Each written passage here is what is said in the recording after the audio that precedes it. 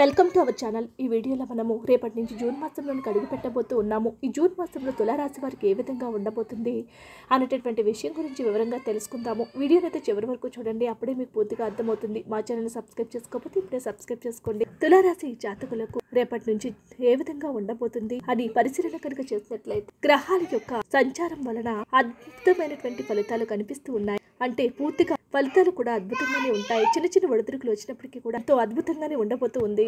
ఆదాయానికి మాత్రం లోటు అనేది ఎట్టి పరిస్థితుల్లోనూ కూడా లోటు ఉండదు. ఏదో ఒక విధంగా డబ్బు మాత్రము మీ చేతికి అందటానికి ఆస్కారం అనేది లేకపోలేదు. అయితే ముఖ్యంగా శారీరక పరమైనటువంటి శ్రమ మాత్రము తప్పదని చెప్పుకోవాలి. శారీరకంగా శ్రమ చేయడానికి అవకాశాలు అనేవి ఏర్పడుతూ ఉంటాయి. ముఖ్యంగా కొన్ని కొన్ని సమస్యల వలన మనోవేదనకు ఎక్కువగా గురి అనేది అవుతూ ఉంటారు. కాబట్టి మనసును ఎంతో స్థిరంగా నిశ్చలంగా ఉంచుకునేటటువంటి ప్రయత్నాలు చేయటం అనేది ఎంతో ఉత్తమము. ముఖ్యంగా మానసిక పరమైనటువంటి అశాంతిని పూర్తిగా తగ్గింప చేసుకుని మానసిక పరమైనటువంటి మానసిక పరమైనటువంటి ప్రశాంతత పెంపొంపు చేసుకోవడానికి ప్రయత్నాలు అనేవి చేస్తూ ఉండాలి.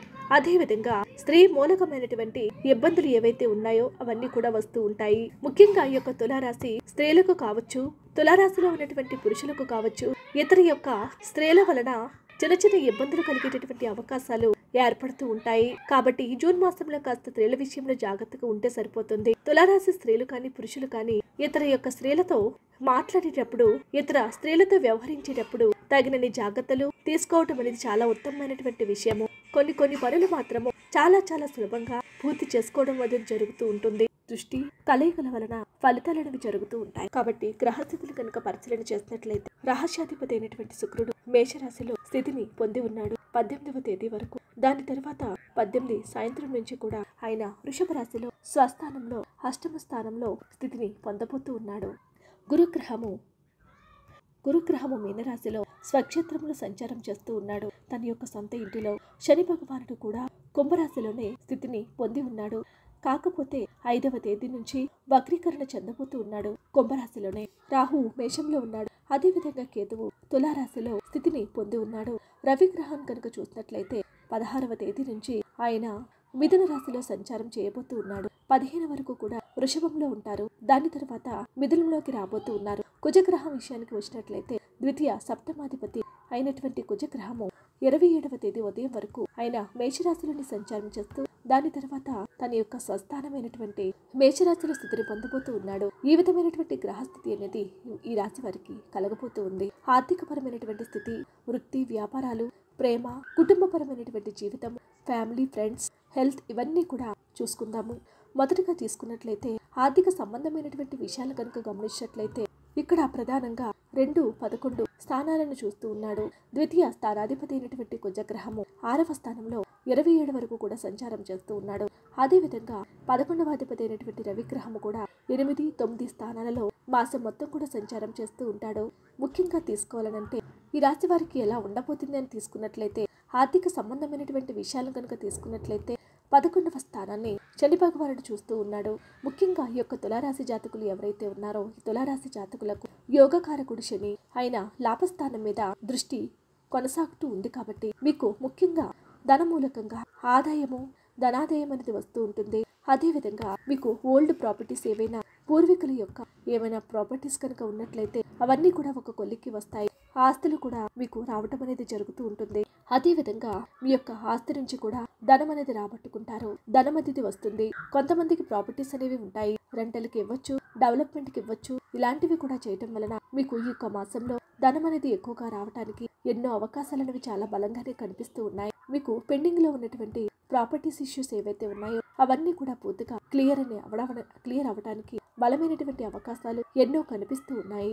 ఏది ఏమైనప్పటికీ కూడా ముఖ్యంగా ఈ యొక్క తులారాశి జాతకులు ఈ యొక్క జూన్ మాసం ఏదైతే ఉందో కొనడం కానీ అమ్మడం కానీ చేసేటప్పుడు కాస్త జాగ్రత్త వహిస్తూ ఉండాలి. ట్రాన్సాక్షన్స్లో కావచ్చు సర్వీస్ నెంబర్స్ కానీ ఫ్లాట్ నెంబర్స్ కానీ ఇవి చెక్ చేసుకోవటము వెరిఫై చేసుకోవటము అగ్రిమెంట్ రాసుకునేటప్పుడు సంతకాల విషయంలో కానీ చాలా జాగ్రత్తగా వ్యవహరిస్తూ ఉండాలి.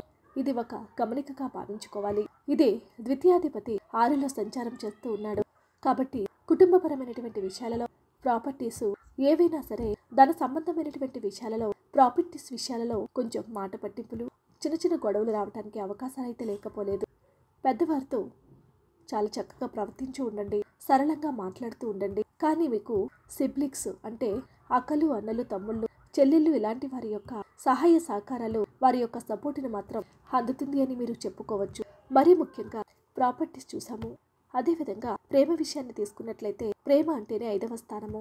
ఐదవ స్థానంలో శని భగవానుడు వక్రీకరణ చెందబోతూ ఉన్నాడు. ముఖ్యంగా ఐదవ తేదీ నుంచి జూన్ ఐదవ తేదీ నుంచి ఒకలాంటి ఎగ్జైటింగ్ ఆందోళనలు మాట పట్టింపులు ఇలాంటివి ఎన్నో జరగటానికి చాలా బలమైనటువంటి ఆస్కారాలు అనేవి ఈ యొక్క తులారాశి జాతకులకు కనిపిస్తూ ఉన్నాయి.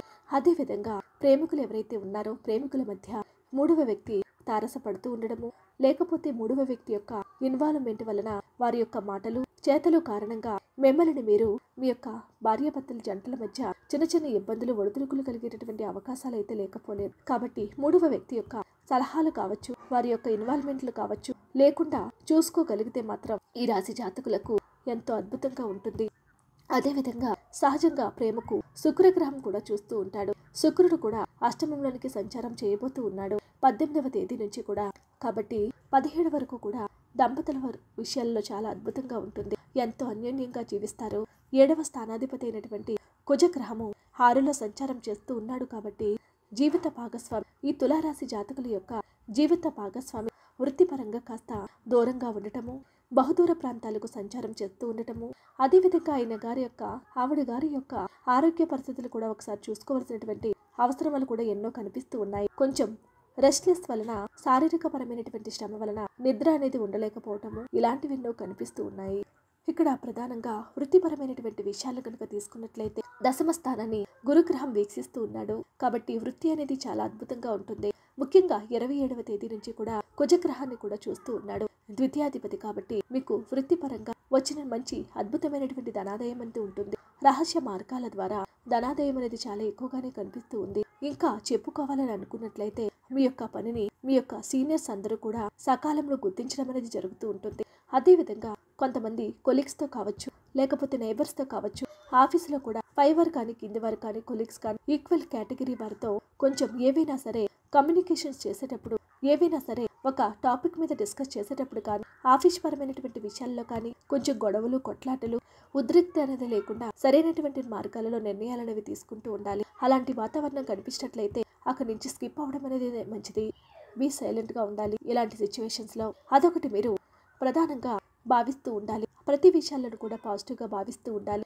అదేవిధంగా వృత్తి ప్రాంతంలో కొంతమంది కొత్త మిత్రుల యొక్క పరిచయాలు కూడా మీకు ఏర్పడేటటువంటి అవకాశాలు ఉన్నాయి. అబ్బాయిలకి అమ్మాయిలు కానీ అమ్మాయిలకి అబ్బాయిలు కానీ పరిచయాలు ఎన్నో ఏర్పడేటటువంటి అవకాశాలు చాలా ఎక్కువగానే కనిపిస్తూ ఉన్నాయి.